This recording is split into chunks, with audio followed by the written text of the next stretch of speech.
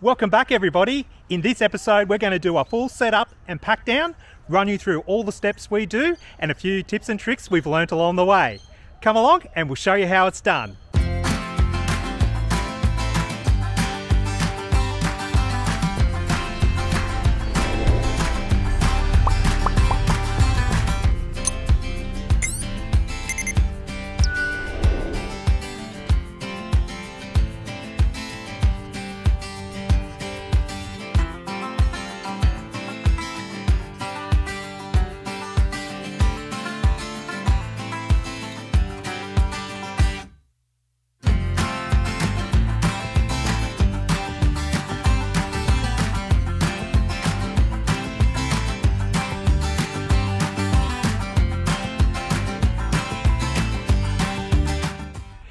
Now we're set up at the beautiful Kingston Park here. Isn't it nice? We're supposed to be at Hat Head this week, but we had to cancel because we're still in lockdown.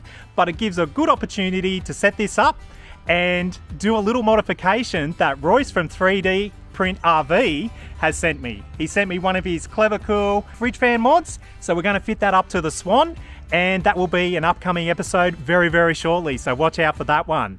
Now, this video will be set up into chapters, so if there's anything that you want to go back over again, or for example, you don't have the bedfly mod and you want to skip across, simply go across in the next chapter and that will take you through the rest of the process. So we'll do it step by step, run you through what we've learnt along the way, our process, and as I said at the start, our tips and tricks to get it done smoothly and stress-free. So we do the most critical thing first, and that is undoing these roof latches. The last thing you want to do is get distracted halfway through the process, go to wind the roof up, and you've forgotten a corner or all of them, and you snap the cables. So go around, do that when you're all nice and fresh, and then get into the rest of the process. And then if you're traveling with kids, as most of us probably are, it's best to keep them occupied from the very start. So what we did when our boys were younger is we usually had lunch, gave them a bit of a snack, they could sit there, chill out, they're not screaming at us, and we can generally get along with the job of setting up. Now that they're a little bit older, the first thing I do is I pull the bikes off the bike rack. They can do a bit of an explore. If you've got walkie-talkies, take them along. It's a great tip if you're in a caravan park. They can walkie-talkie backwards and forwards if they need to, and they're not gonna get into too much trouble.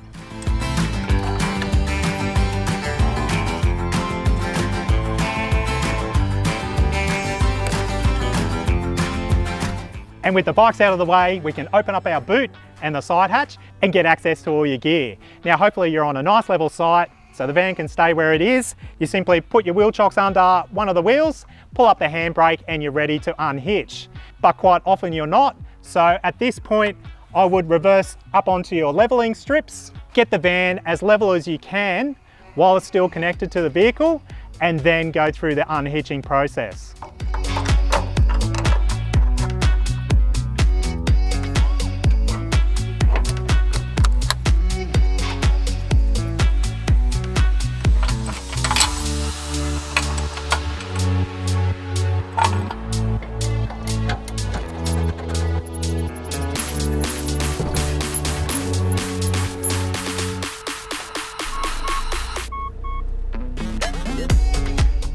With the vehicle out of the way, it's then a case of leveling the van out with the jockey wheel. If you don't have one of these spirit level bubbles on your drawbar, they're a very good idea. Adam from Caravan Mod sells them, just like this one here.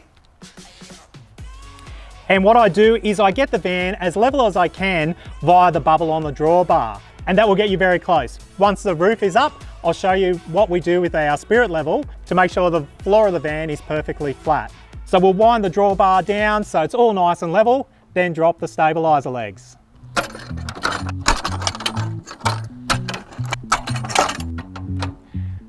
Then we wind the legs down to take a little bit of pressure off the van and make sure it's all nice and stable. I prefer to use the hand tool rather than an impact driver as you can strip the gears in these legs. So be very careful.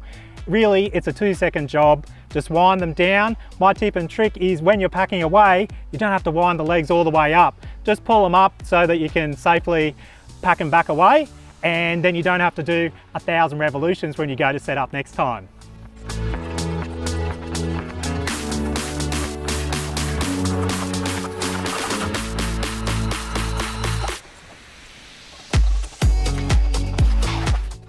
So now we've got the stabilizer legs down. Don't stress too much about making it exactly level at this point. You just want to make sure it's all nice and stable so that you can lift the roof up. Once we get inside, we'll do the final leveling with our spirit level to make sure it's all nice and sound. So now it's just a case of pulling out the steps and then what I do like to do is pull out all the poles and position them around the van so you're ready for the setup.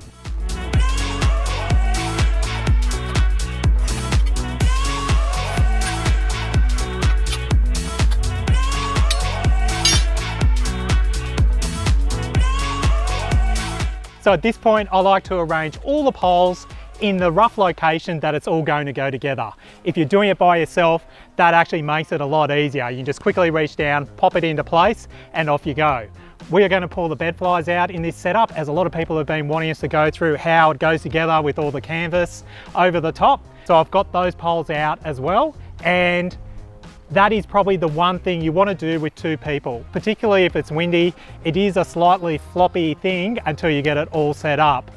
The other thing I like to do is to close the boot down at this point and obviously put your winder in so you're ready to roll. We've got all our latches undone. Just do a double check or triple check to make sure they're all down and unlocked. But firstly, we're going to do a setup without the bed flies, just so we can show you a few of the tips and tricks with the bed ends and how we set them up. So I've removed the poles related to the bed fly and we'll come back and do a setup with them shortly. So the basic setup is very easy and straightforward. Up the front you have your two bed end support poles. These are easily identified by being straight as they go into the spigots that come off your drawbar. Whereas the bed support poles on the rear have the little downturn which go into your bumper. And then you also have your roof safety support poles. We put one into the driver's side rear and then one diagonally opposite, which is on the passenger side front. Now these poles are not intended to fully support your roof. They're simply there to support the roof in case of a cable failure. So it's important not to wind your roof down onto these, so these are taking the load. You still want your cables to do that during the normal setup. They just have a firm fit into the underside of the roof. Start the process by winding up the roof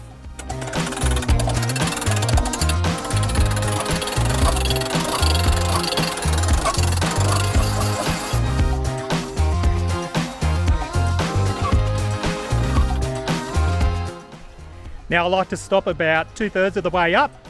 You will see that these poles come up with the winding mechanism.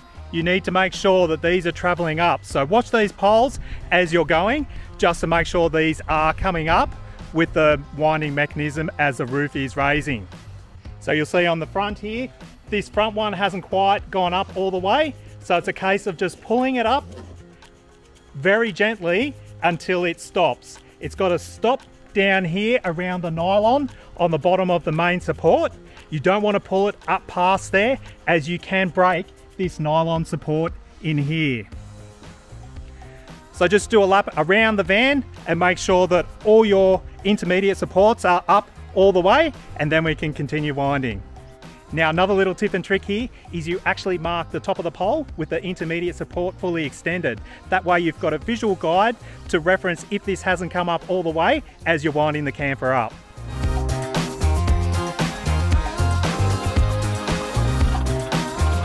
So here you can see the red tensioning lead. It's still got a little bit of slack in it. That's perfectly fine. Lift it up till it's reasonably taut and then we can do any final adjustments once you have your door in. And now we're on to the fun part, the bed ends. I'll pull the bed ends out from either end of the van, but don't put the support poles in just yet. What I tend to do is pull the canvas over the corners and then what you want to do is empty out the contents of your van so you can get to either end to put in the hockey sticks. My biggest setup tip and trick for these vans is to put the hockey sticks in while everything's all nice and loose and before you put the bed end support poles in. So we'll get onto that right now and then we'll button it all up.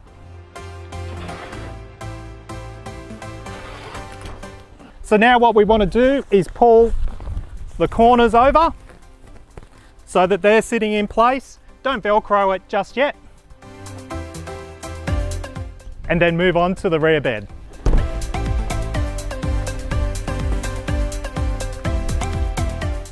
It's a good idea to make sure your canvas isn't getting caught on any of the bed sliding mechanism.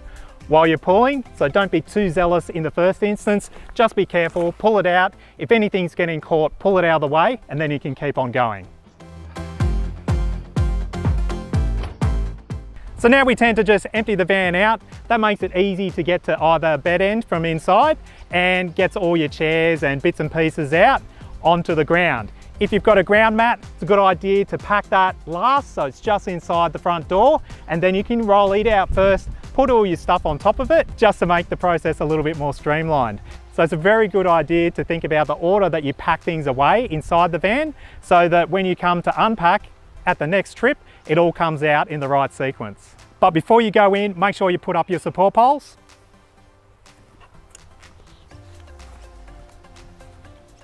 So you're all nice and safe inside. And now we'll quickly duck inside, put the hockey sticks in, and then we can finish up the outside. So inside the van, it's a case of pulling out the hockey stick from underneath the mattress, and then we'll simply locate this into the frame on the front of the bed end, push it up and then slot this into the receiver.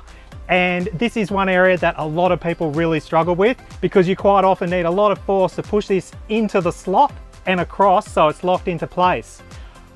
The idea of leaving the bed end loose externally at this point, it means it's a lot easier to push this in.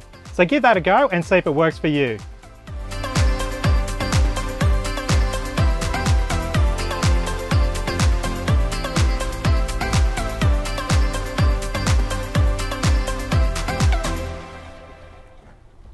And as you can see, it's a lot easier to push that into place.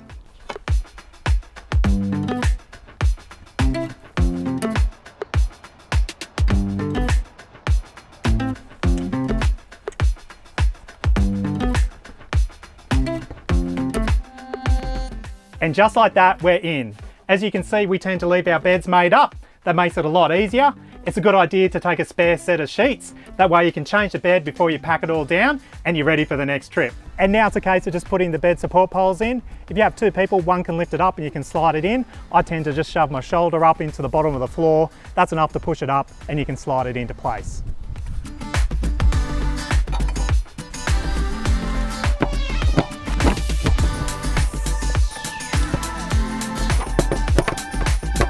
And now you can go through and fix all the Velcro on. The rear is much the same, you simply slot in your bed end support poles and then Velcro the canvas onto the underside of the floor.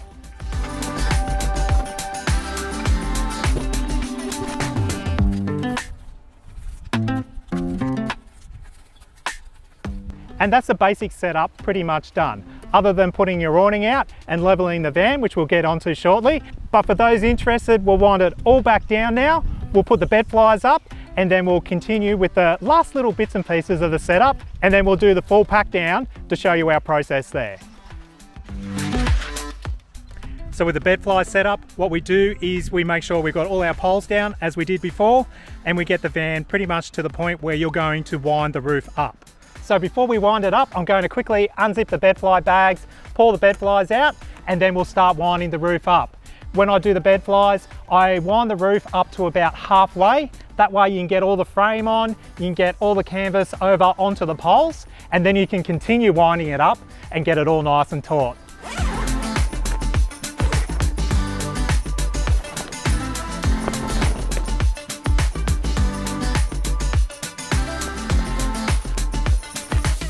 Now if the bed flies out, I try to get as much of the framing set up as you possibly can to stop it from flopping around and being really cumbersome to deal with. Particularly if it's windy, you want to get as much of it set up before you start lifting the roof and things start flying around. So there's a few little tips and tricks. This is a spreader bar that goes from side to side of the camper. What I do is I pull it out so it's roughly the width of the camper and that way you're not trying to do it while you're reaching and trying to hold everything down. You also want to attach the poles onto the side of the camper so they're ready to go as well. That also includes the rear poles. You'll notice we have a slightly different setup to the Caravan Mod system. That's because this was done before that. So we don't use the bird peaks. We simply have the same setup as on the front, except we put this on and then I've got a pin that goes through and locks it all together. I've made two videos on these fly mods, one on our specific camper and the second one which is detailing the three different options that caravan mods have. I'll include them in the link below, but they'll be also included in a playlist that this video is part of.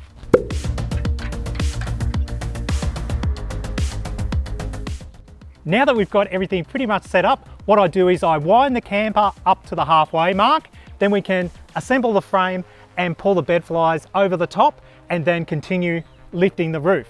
Now when you're at the halfway mark, it's not going to be unusual, particularly if it's windy, for the bed ends to fly off the ends of these spigots. It's just something you'll have to deal with as you're winding it up. Make sure you have a little step ladder handy. It's uh, good to reach up over the top and pull the eyelets back over the spigots of the poles. But one thing you can get, which I did mean to get for this video, but I clean forgot about it, is a product called Tarp Buddies. And again, they're available through Adam at Caravan Mods. They look just like this. Make an order through caravanmods.com.au and Adam will sort you out, no worries at all. And what the Tarp Buddies do is you'll put your bed fly over the top so the eyelet's sitting on the base of the spigot and then you can clamp that on so it won't fly off again. And really in a windy situation, I think that is the best tip and trick for this bed fly conversion once you've got it all set up. We don't tend to worry about it too much. If it blows off a few of them, it's not a real big drama. You just have to manage it as best you can.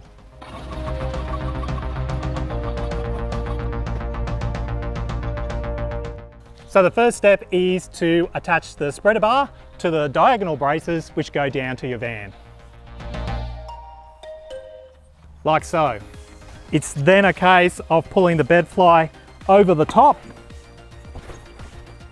and then pulling out the poles so that they pull it taut as much as you can while it's down at this halfway position. Now it's a good idea to secure the mesh sides onto the side of the van as soon as you can and that will stop a lot of the uplift blowing the top of the bed fly off the poles. And you'll notice in our previous videos on the bedfly mod that we incorporate a carabiner onto the elastic straps which go around your grab handles. That just makes it nice and quick to pop this on and stop it all flying about. Now it's time to put on the center rafter and this goes from the roof where you need to have a little hook. If you haven't got that hook, make sure you order one. It just makes the assembly so much easier if you've got this center rafter. So older models won't have these. It goes down to your spreader bar. And we used to try to put these in when it was all collapsed down. But the problem is this little hook comes out and it ends up a bit of a mess. So I find it a lot easier if you get your step stool, get it up to this point, and then we can put this center rafter in with the little extension without it all flopping around and blowing apart. So now it's a case of just putting the center rafter pole into the receiver which usually sits under your bed fly. And then you get up on your step ladder, put this little extension piece in, which is part of the bed fly kit. Feed it up through the eyelet, clip it into place, and then extend the rafter pole out as tight as you can, again, to make sure it's all nice and taut. And now it's a simple case of repeating the same process on the rear. So we join the spreader bar on, and then we pull the bed fly over. Feed it through the eyelet, and then pull it out all nice and tight. Now you want to tie the mesh back onto the rear handle as well. And then we're ready to put in the center support rafter. Just like so. Pull that out all nice and tight. Pull the spreader bar out all nice and tight. And for the most part, this should hold in place while we finish winding the roof up. If one of the poles do pop off, it's a simple case of jumping up on the step ladder, popping it back over, and then tightening it all up once the roof is up to its final position. And now that the roof is in its final position, what we do now is go and adjust all the poles so the bottom of this mesh is pretty much horizontal. That will get the roof all nice and taut and then we're ready to do the typical setup which is pulling the bed ends out and getting ready for your camp. Now with the bedfly awnings, it's important to have the corners velcroed up. If you're really concerned about this flapping about or flying off in heavy wind, you could tie these corner eyelets down to either your bumper or your drawbar. However, I'd be more inclined if you are still worried about that to put the tarp buddies on the spigots where they go through the eyelets of the bed flies to secure it all down, just to make life a little bit easier and to help you sleep well at night. Now that you've got your roof up, it's important to go through and do the final leveling of the van. This is particularly important if you're running your fridge on gas, and I did a video on that a few episodes ago for those that are not familiar with the three-way fridges with some tips and tricks on how to get them set up and running perfect as well. So we carry around this little spirit level. It's fantastic. Again, it's nice and handy. We've got a Jayco Swan, so it sits in the buffet here, just inside the door. So you can grab it when you first get set up and put it on the floor inside the van. What that allows you to do is to run inside and outside quickly check the bubble and make sure you're leveling the van both side to side and front to rear. So I level the van front to back via the jockey wheel on the front and then you can adjust your stabilizers accordingly. You want to try to get the van level across from side to side as much as you can when you're parking it up but you can tweak the stabilizers just a little bit to tweak the level to get it as close as you possibly can. And now it's a case of just finishing off all the little odds and bods, which includes putting the door down. One thing you want to make sure is that you locate the locking pins into the holes at the top of the frame. That'll make sure the door is centered properly and is sitting correctly so that it locks onto the latch on the door. So when you're inside the van, you want to make sure the door's closed. And then it's a simple case of lowering the door frame off the roof, securing it into those locking tabs, and then pushing it out so you can lock in the top of the door. Now it's a simple case of latching the lower door onto the top door so that the two sections are secured next to each other. From there you just want to velcro all the sides on so it's all nice and secure. Then we'll pull out the awning and we're almost done. Now, if you've got a wind out awning, such as the Fiamma F45, you want to make sure that you shut your door before you wind it out. That just makes sure it doesn't get caught on the door while it's open or ajar.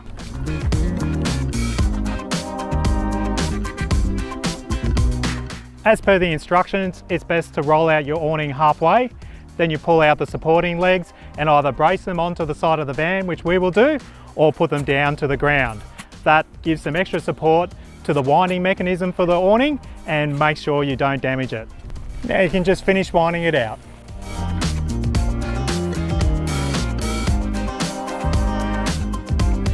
Just so it's nice and level and you're ready to enjoy your weekend. Don't forget to put your covers over your lifting mechanisms and your safety poles on all four corners of the van. If you're just staying for a night, I typically don't bother. However, if it's going to rain or be wet, make sure you put these on. That'll save any leaks going down through your stabilizer leg. And that's the setup pretty much done. Now, it took me all day to get this set up as I took it up and took it down. But for us, our typical setup time would be roughly 15 minutes if we're doing just a standard setup without the bed flies. The bed flies probably add on another 10 minutes or so. A little bit more if it's windy just because you're trying to pull everything down as you're winding the roof up. Now with the wind out awnings, they are extremely simple. You just have to be careful in windy situations. If the winds are too high, it's a good idea to wind them back in and don't set them up. Now, unfortunately, we don't have a bag awning to demonstrate today, but my general advice is just to get the camper set up, sit down, relax, chill out a little bit, and then later in the afternoon, go about setting up the bag awning. And the approach is pretty much the same as our bed end awnings in that I would pull all the poles out, arrange them in the layout they need to go to set up your bag awning, roll it out, and then set it all up. Having the poles in all the right locations means it's so much easier just to reach down, pick it up, set it up, and then slowly extend the poles tighten the guy ropes and you're pretty much done. When it comes to packing up a bag awning, my general approach would be the same as the bed end awnings, is to leave them up as long as you possibly can. So pack the camper down, lower the poles, and with the roof fully lowered, it's a lot easier to roll it up. And while you could probably do it with one person if you put a pole through the end of it so you can roll it up, I think with a bag awning, the same as the bed end awnings, it's a lot easier with two people. One person goes on either end and you can quickly roll it up to the roof of the van, tie it up and then zip up the bags. And now for the fun bit, packing down. Now when it comes to this process, I tend to leave the awning out as long as I can, usually because it's early in the morning and you want it to dry off as much as it can. Blow it down or towel dry the best you can, but always remember to pull anything out that was packed down wet so that it can dry out when you get home or if you're lucky enough to be at your next camping spot. So the first step, which I typically always forget, is to jump inside and let down your bed ends by removing the hockey sticks. It's extremely frustrating if you've packed away all your gear and you go to pull the beds in and you've forgotten to do that and you need to either pull it all back out or climb back over, particularly to get to this end bed to pull the hockey stick back down. Then it's just a case of packing away all your big bulky gear and have a bit of a think about the order that they need to go in or how you're weighing the packing of the gear in your van so that it's all going in in order and then you can pull it back out in the same order as I said earlier because it will make life so much easier. Inside you want to make sure all your lights are turned off, your vents are closed and also you've unplugged the cord for the roof out of the bench just as a bit of a safety precaution. I then tend to come around and I flick the battery off and then we have our canvas bays that came out of the robe that have all our clothes in them. We put them along the lounge at the front so they're easy to reach when you get home and pull them all back out. It's at this point as well that I also pull the upper half of the door up one, that's so you don't forget it and then you need to jump back inside when all your gear's usually on the floor. And two, because it's a lot easier to pull our barbecue through the upper opening without the door frame in there. And then it gets placed in the little nook of the lounge area in the front of our Swan. So don't forget that hockey stick and you stash that down under the mattress. We also put our pillows into the center of the bed so that the bulk isn't focused on the sides, which is where the canvas comes in and will lay when we fold the camper back down. So this is our typical packing sequence. We fold the robe down in the back. I put our tables to either side to protect the internals of the van. Then our camp chairs go in between. Then we usually have our bin, some water, and some other bits and pieces that sort of fill up this front area. And usually this area is for stuff that needs to be taken back out as soon as we get home. So you can lift up the roof a little bit, pull it all out, gain access to the fridge if you need to. So with the inside all packed away, we'll now wind in the awning. We leave the bed ends out while we pack the van down. Usually you have them up because it's wet and that will protect all the canvas while you pack it down and slide the bed ends back in. So we leave the bed flies up until last and you'll see that it's very easy to pull them back apart and they hold together while you wind the van down. Now with the awning, you just want to let it back down again. And then the same as when you set it up, you wind it back halfway. All right, look to the legs are nearly at the van. And then you fold up the legs into the cassette.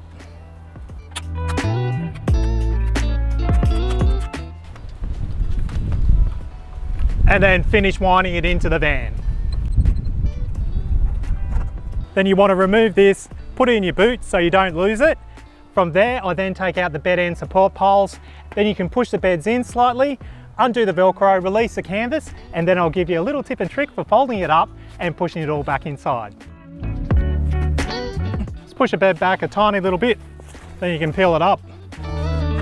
And then as you're pushing the bed back in, you want to fold the canvas over kind of like you're wrapping a Christmas present in trying to get it into triangles so it's not all clumping particularly on these corners especially if you've got your beds made up inside and you're using a mattress topper. What that will do is push the canvas towards the center where you've got the big void over the roof and that makes it a lot easier to pull it down when you're putting the latches up to lock it all down and secure it for travel.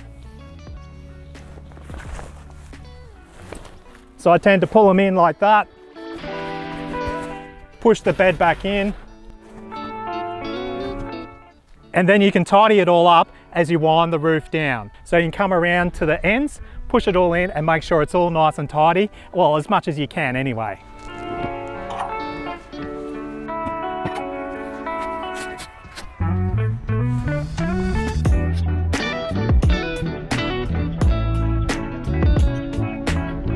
It's also incredibly important to remember to never slide these bed ends in and out with the van collapse, particularly through the door openings. If this vinyl or canvas is lapping over, what you will do is the track will run through this and tear a big hole in it.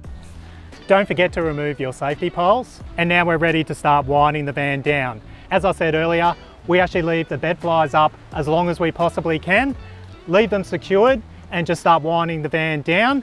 You may need to release the poles a little bit, but I find it will generally come down most of the way without making any adjustments at all. And then it's just a case of disassembling the bed fly and then you can finish shutting down the camper properly.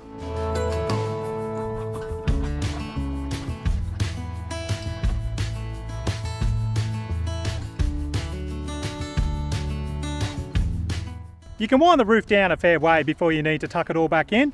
I sort of get it to roughly 30 centimeters or a foot. That way you can start pushing all the canvas and vinyl back inside and then bring it down to you've got roughly say two to three centimeters and then tuck the last little bit in. Another piece of advice to ensure the longevity of your fly screens in particular is push the canvas in away from the windows. So don't put your hands all over the fly screens if you can avoid it. Just push in the more solid parts. That way you're not going to wreck any of these fly screens or potentially scratch them with your fingernails or jewellery as you're packing down the van.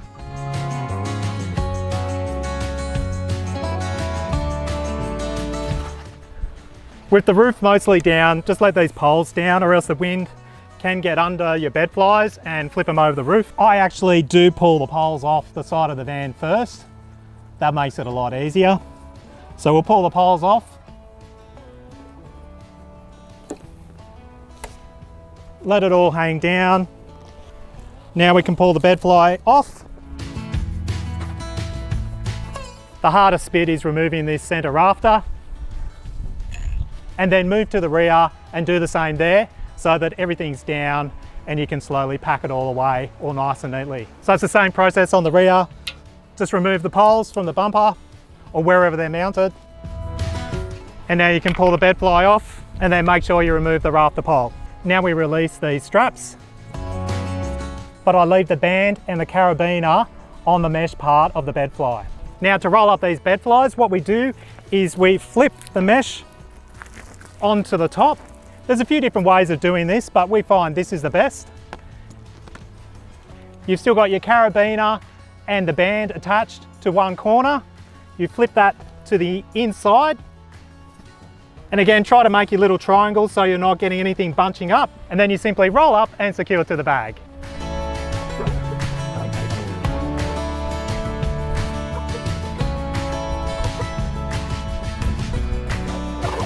Then you simply do the same to the front, then we'll pack up all our poles and then secure the roof down.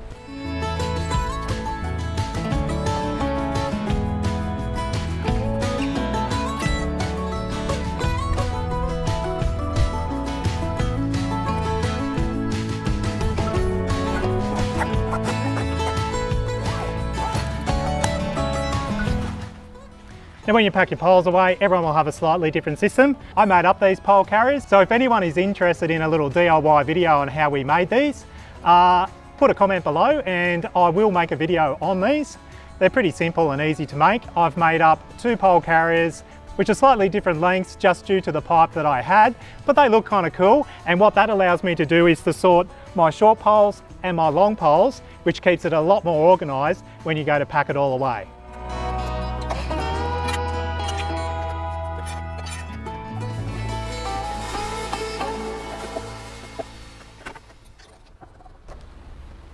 Now it's a simple case of just going around and pulling the roof down, doing up the roof latches, and then I'll give you a little tip and trick with the winder to make sure you're not in trouble next time you go to wind the roof back up. Now a few little pointers with the roof. On the front in particular, you want to make sure that this seal on the front is compressed to a reasonable degree. So don't go adjusting your latches so that it's popped up because you've got too much bedding inside, for example. You want this down so that this seal is resting on the top edge. You don't want it down too hard that you end up cracking the end caps either. The reason for this seal is it's a weather seal and this is to reduce the chance of any water splashing up inside when you're in transit. My other tip and trick is once you've got your roof fully secured, is just to wind the handle around a quarter of a turn or till you just feel it grabbing and that will make sure that no cables jump off pulleys while you're in transit as well. And from here on in, there's only one more thing I want to show you. The rest of it's all folding steps in, hitching it back up to the vehicle and whatnot. And that's to do with the stabilizer legs up on the rear. Let me show you that now. Now with all the stabilizer legs, as I said when I was setting up, you don't need to wind them up all the way. You just want to get the bottom of the legs up high enough so that you can fold them away. Now with the rear legs, what most people do is they fold them so the back of the leg is facing the front of the vehicle. The issue here is if for some reason this releases and flops down, the, the leg will dig into the ground and flip the camper all over the place. So from a safety point of view, it's always best to flip the legs up to the rear of the van. That way, if the lock was to fail and they flop down, they're just gonna drag and flop around behind you. They're not gonna have the tendency to catapult the rear of the van up into the air, which could be quite dangerous when you're traveling along at high speed, or worst case, it'll cause a lot of damage to the underside of the van itself. So go around, pull all your legs up, hitch it onto the vehicle, pack your bikes away, and you're ready to roll. And so that's our setup and pack down, tips and tricks all done. We're packed up, it is extremely windy, and I'm halfway through the fridge fan mod, so that's another video that will be coming up soon. I really hope you enjoyed this, and for the newcomers to the scene, you pick up a few tips and pointers, and for anyone that's been doing this for a while, there's a few little things you've learned along the way as well. So thanks for watching, particularly if you made it this far. Please subscribe to our channel, like this video, it helps us out a lot, and put a few comments or suggestions below for anything we missed or a few ideas that you might have liked that you haven't thought of or come across before as well. We'll catch you next time, and as we always say, get out there, stay safe, and have fun. Thanks for watching.